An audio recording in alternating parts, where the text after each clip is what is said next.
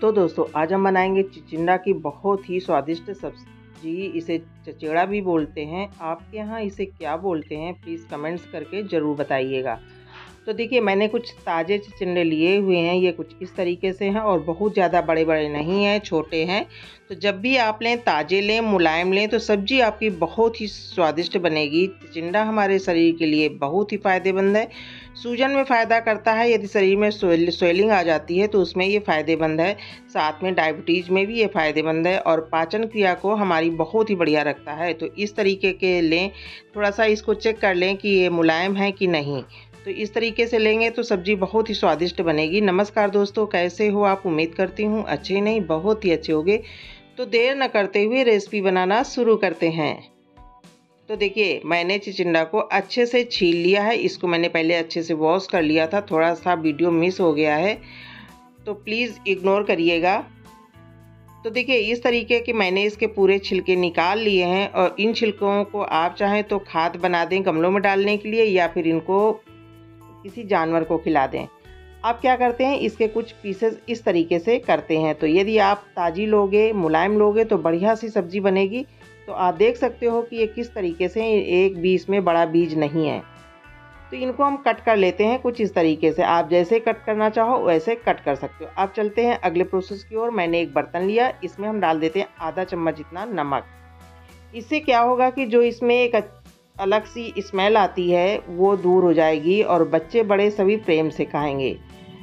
इसकी महक की वजह से कुछ लोग इसको खाना नहीं पसंद करते हैं, पर यदि इस तरीके से आप देखिए, इनको रख दोगे थोड़ी देर के लिए, पंद्रह मिनट के लिए तो ये बढ़िया से हो जाएँगे, इसकी महक दूर हो जाएगी। अब पंद्रह से बीस मिनट हो गए हैं, अब हम क्या करते हैं, इसको बढ़िया से रगड़ करके कुछ इस तरीके से हम इसको साफ़ कर लेंगे। बहुत आसानी से हो जाएगा। साथ में ये बढ़िया से मुलायम भी हो जाएँगे। यदि मुलायम होने से इसकी सब्ज़ी बहुत ही बढ़िया स्वादिष्ट बनेगी और जल्दी बन जाएगी। मैंने अच्छे से इसको देखिए, कुछ इस तरीके से वॉश कर लिया। अब चलते हैं तीन से चार पानी से अच्छे से वॉश कर लेते हैं। अब कुछ इस तरीके से निचोड़ करके हम इनको एक बर्तन में निकाल लेते हैं। तो आप देख सकते हो कि मैंने इनको निकाल लिया और अब ये हमारे बढ़िया से सब्ज़ी बनाने के लिए तैयार हो गए हैं। तो आप इस तरीके से बनाओगे तो सब्ज़ी आपकी बहुत स्वाद बनेगी, साथ में सबको बहुत पसंद आएगी।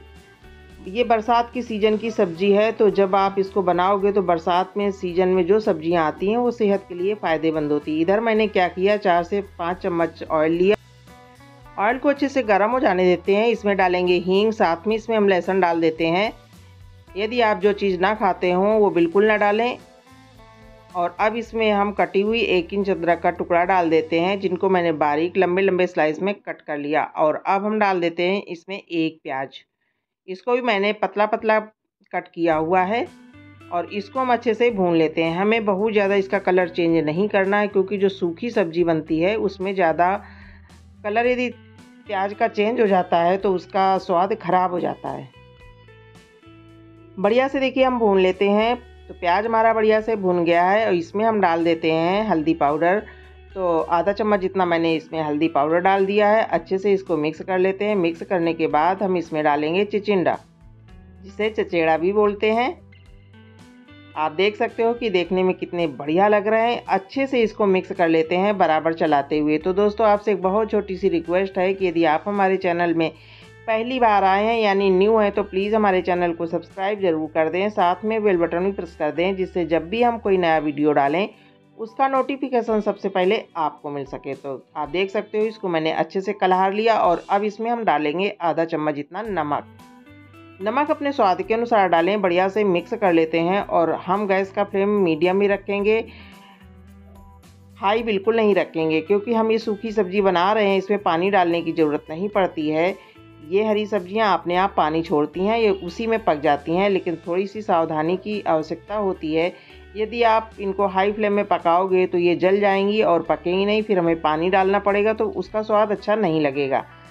अब बीच बीच में हमें इसको चलाते रहना है और ढक करके हम पकाएँगे और इस तरीके से कुछ मैश करते जाएँगे जिससे कि इसमें पानी बिल्कुल ना रहे और सब्ज़ी हमारी बढ़िया परफेक्ट सी बन करके तैयार हो जाए। आप देख सकते हो कि मैंने इसको किस तरीके से चलाया हुआ है। गैस का फ्लेम मैंने लो रख कर दिया है और लो फ्लेम में ही हम इसे पकने देते हैं। थोड़ी देर के लिए हम फिर इसको ढक देते हैं और बीच में इसको चेक कर लेंगे। एक से दो बार, दो मिनट तक के लिए हमें इसको ढक करके पकाना है। दो मिनट हो गए हैं। आप देख सकते हो कि सब्ज़ी हमारी कुछ इस तरीके से पक गई है और बढ़िया सी सब्ज़ी हमारी तैयार हो गई है। बहुत थोड़ा सा पकने के लिए बाकी है तो अब इसमें जाएँगे थोड़े से मसाले। तो इसमें हम डाल देते हैं एक चम्मच जितना धनिया पाउडर। साथ में इसमें हम डालेंगे लाल मिर्च पाउडर। आप जितना चटपटा खाना पसंद करते हो, उस हिसाब से इसमें लाल मिर्च डाल सकते हो। और अब इसमें हम डालेंगे गरम मसाला, चौथाई चम्मच जितना बहुत थोड़ा सा डालना है, ज़्यादा नहीं डालना है। और अब इसमें भर करके हम एक चम्मच खटाई पाउडर डाल देते हैं, जिससे कि इसमें चटपटा, खट्टापन आएगा और सब्ज़ी हमारी सबको बहुत स्वादिष्ट लगेगी। बढ़िया से इसको मिक्स कर लेते हैं चलाते हुए। गैस का फ्लेम मैंने लो ही किया हुआ है, हाई नहीं किया हुआ है, क्योंकि जो सूखी सब्ज़ियाँ बनती हैं, वो लो फ्लेम में ही बनती हैं। अब इसका कलर बढ़िया लगे, इसलिए हम इसमें दो लाल मिर्च डाल देते हैं। ये पकी हुई लाल मिर्च है और ऊपर से डाल देते हैं इसमें धनिया पत्ती। अब इसका स्वाद परफेक्ट हो गया। अब ये यदि आपके पास धनिया पत्ती ना हो तो इसमें कसूरी मेथी डाल सकते हो, उससे भी टेस्ट बहुत अच्छा आता है। बढ़िया से इसको थोड़ा सा और मिक्स कर देते हैं, कुछ इस तरीके से ढक देते हैं। गैस का फ्लेम हम कर देंगे बंद। तो एक मिनट बाद ही हम इसको चेक कर लेते हैं, जिससे कि कढ़ाई बहुत गर्म है और इसमें ये जले ना सब्ज़ी, इसलिए मैंने इसको चेक कर लिया। अब गैस का फ्लेम बंद करके इसको हम थोड़ी देर पाँच मिनट तक इसी तरीके से रख देते हैं। पाँच मिनट बाद हम इसको चेक करेंगे तो सब्ज़ी हमारी देखिए कुछ इस तरीके से बढ़िया सी लाजवाब बन करके तैयार हो गई तो इसको हम एक बर्तन में निकाल लेते हैं। इतनी यदि आप इसको थोड़ी सी रसेदार बनाना चाहते हैं तो थोड़ा सा इसमें एक कप के जितना पानी डाल दें और उस पकने दें, क्योंकि बहुत लोगों को ग्रेवी वाली सब्ज़ी पसंद होती है। दोस्तों, हमारी बढ़िया सी अमेजिंग सब्ज़ी बन करके तैयार हो गई है। इस सब्ज़ी को आप पूड़ी, पराठा, रोटी, दाल, चावल के साथ खा सकते हो। लंच बॉक्स में भी ले जा सकते हो या लंच डिनर में बना सकते हो। बहुत ही अमेजिंग बहुत ही स्वादिष्ट बनी है।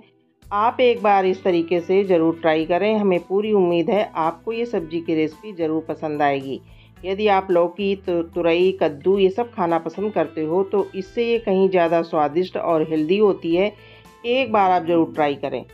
तो दोस्तों, यदि ये आपको हमारी बढ़िया सी चिंडा की सब्ज़ी की रेसिपी पसंद आई हो तो प्लीज़ प्लीज़ हमारी वीडियो को लाइक करें, ज़्यादा से ज़्यादा शेयर करें कमेंट्स करें और हमारे चैनल को सब्सक्राइब करना एकदम ना भूलें। दोस्तों वीडियो देखने के लिए तहे दिल से बहुत बहुत धन्यवाद। अगले वीडियो में फिर हम मिलेंगे, तब तक के लिए bye bye and take care